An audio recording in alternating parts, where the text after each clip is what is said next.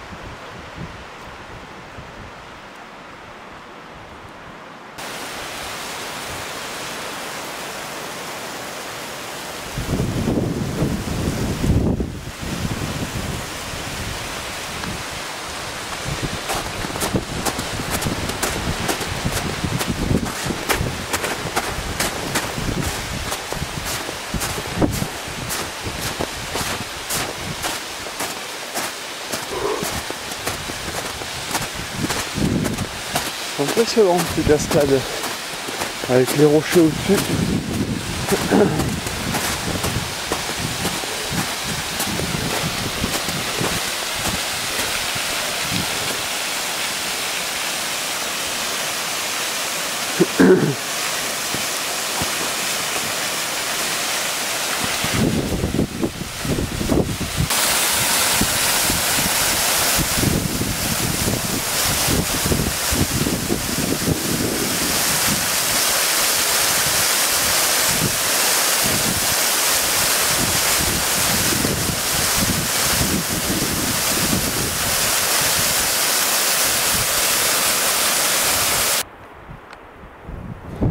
Voilà, on est sorti de la forêt et ça sent pas mal.